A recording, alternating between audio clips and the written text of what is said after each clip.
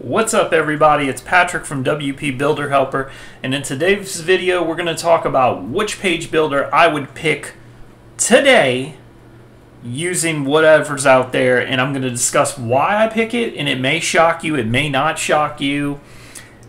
It's up to you to decide, but I have some reasons behind why I'd pick this page builder and why I wouldn't use certain other ones.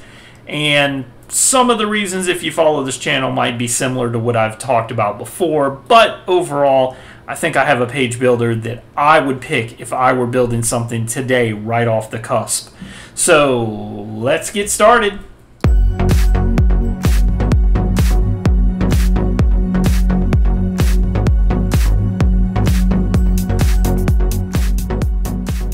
Alright guys, so here we are, we're at Income School's website. That's because that's kind of what I use as my basis when I'm building these sites.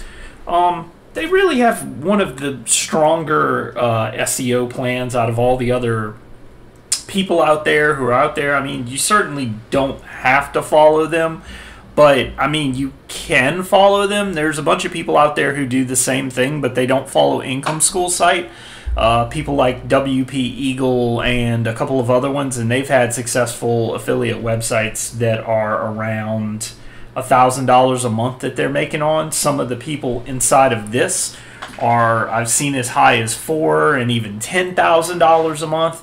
Um, after several years, depending on you know whatever, they've had some people who have had some very high months who have only been part of income school for like a short period of time but most of those people have been doing affiliate marketing for years, so they've had time to kind of build up their knowledge and everything that's with it. So, the point of today is to talk about page builders.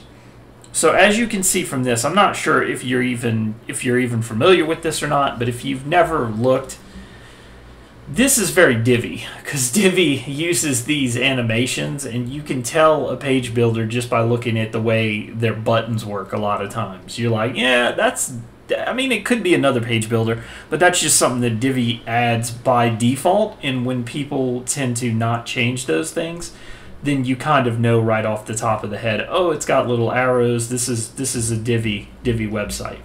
Now, they typically use Divi, and I'm not sure how well that works out for them, but I'm going to tell you right now that from my perspective, I would not use Divi for an affiliate website for two very specific reasons.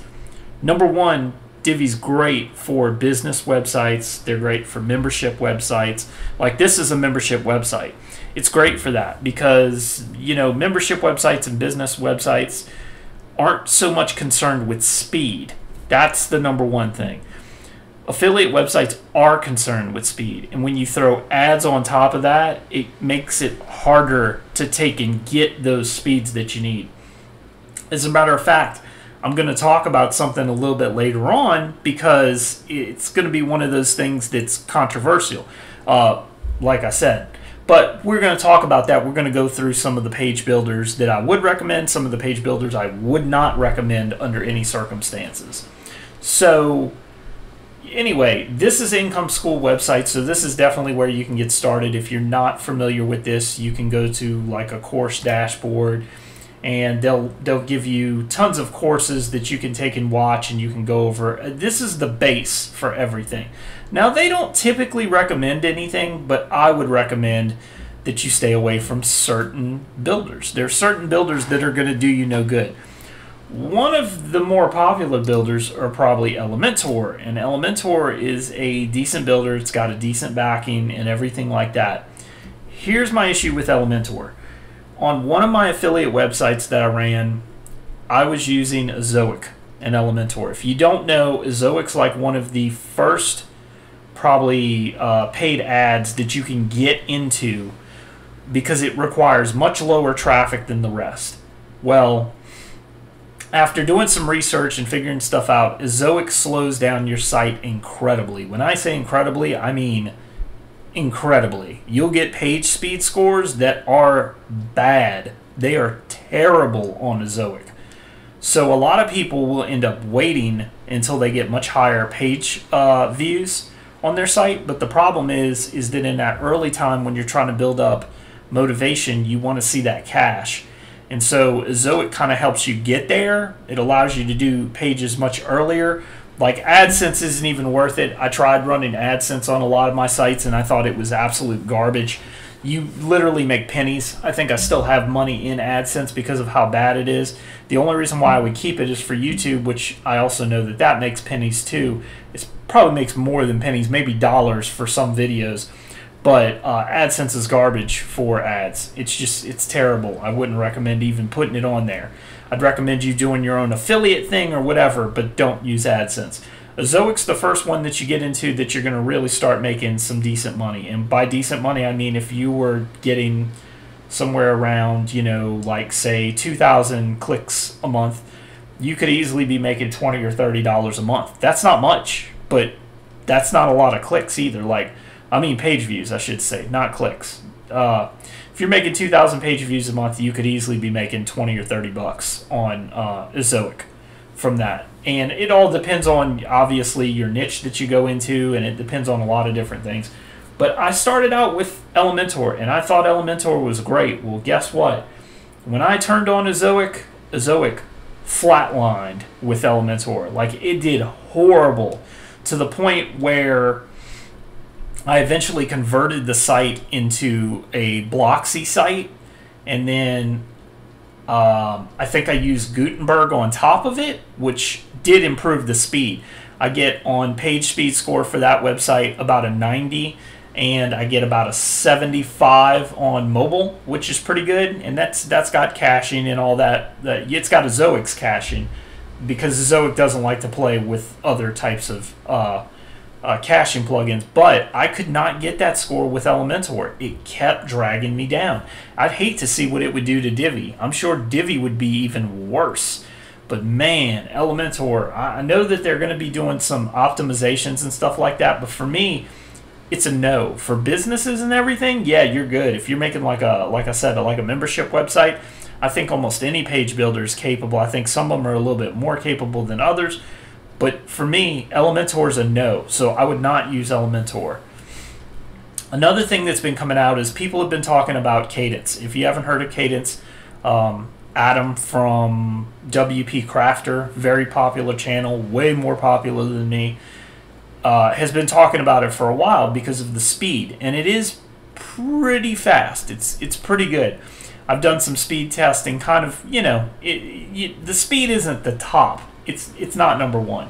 I don't like when people say, "Oh, we've got number one, one number one theme and speed or whatever," because that number changes dramatically as time goes on. So for me, it's not number one, but it is fast. It's good. It's not bad.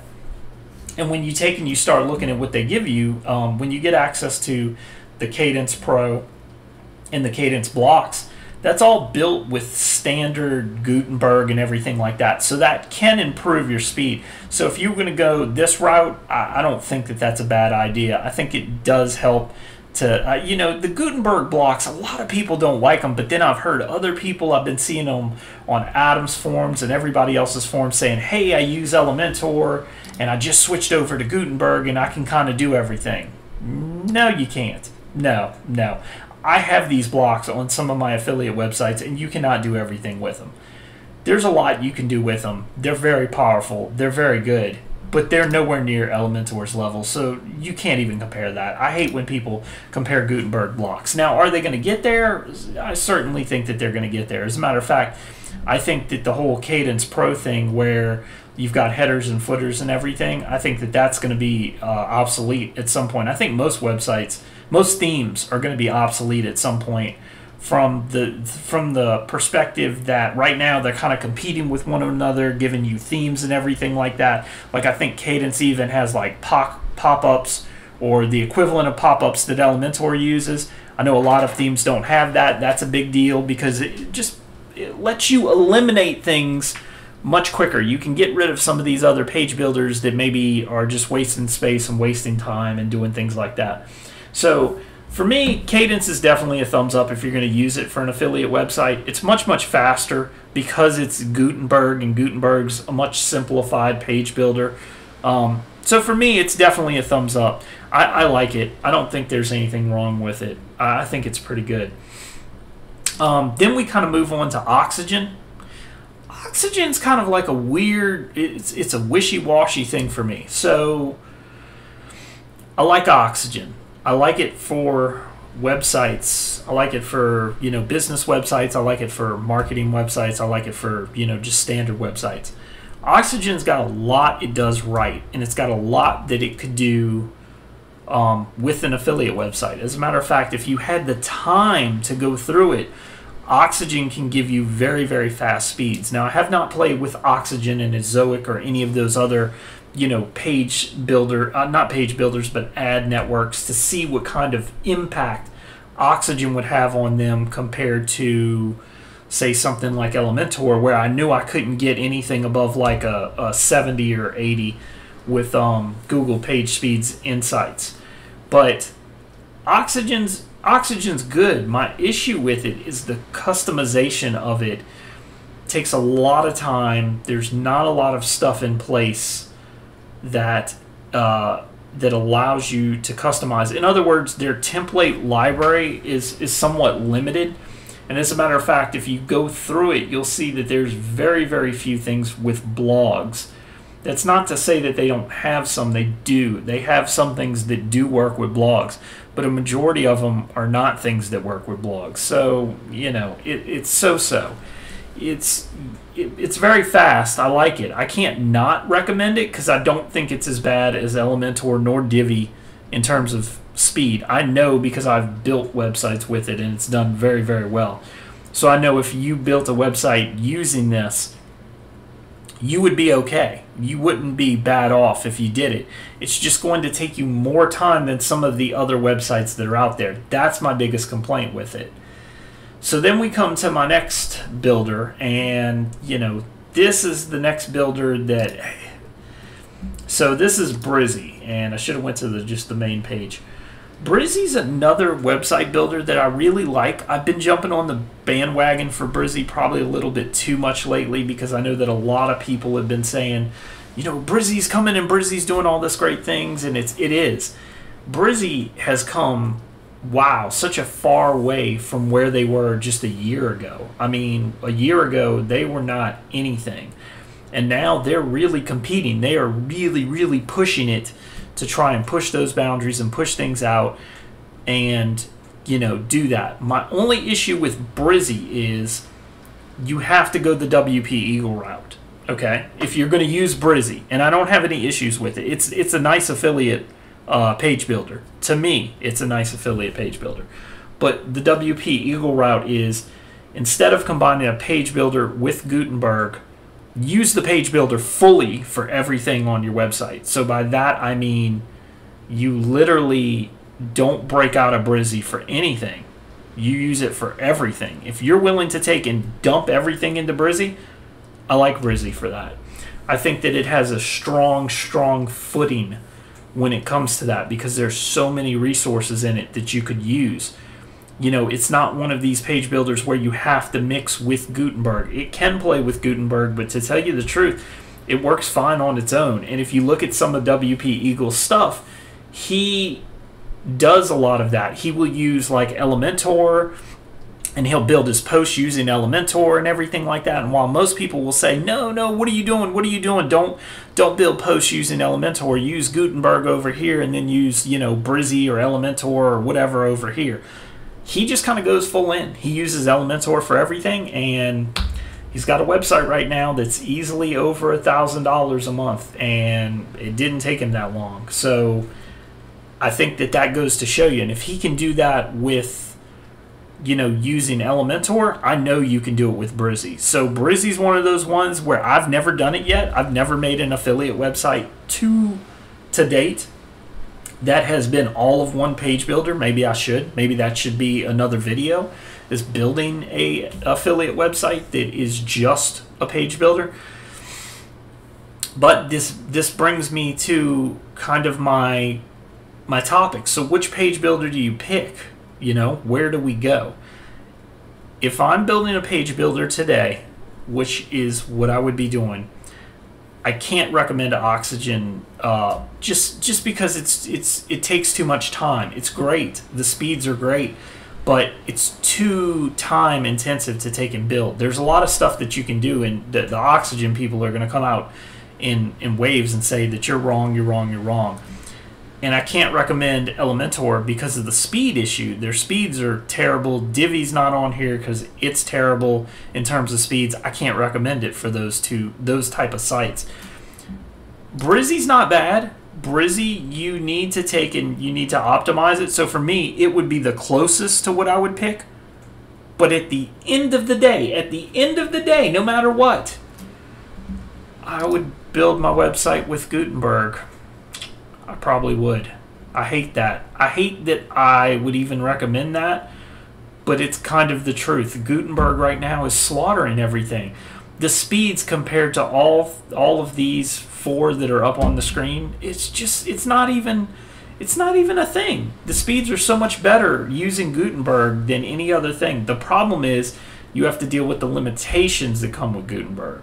Now, Kadence kind of solves this, and there's other uh, there's other Gutenberg plugins. There's like Atomic Blocks. There's uh, yeah, there's there's Qubely that's out there, which which yeah, Qubely's another one that's got some full Gutenberg blocks. I actually do have a license to this. They've got full Gutenberg layout and stuff like that.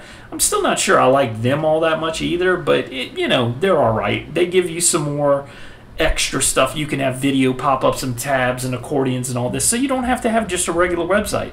So for me, if you're looking at speed, I mean, even these Gutenberg blocks don't add a whole lot to a page when you're taking and you're breaking them down. So if you're going full page builder and you want full functionality, I recommend Brizy.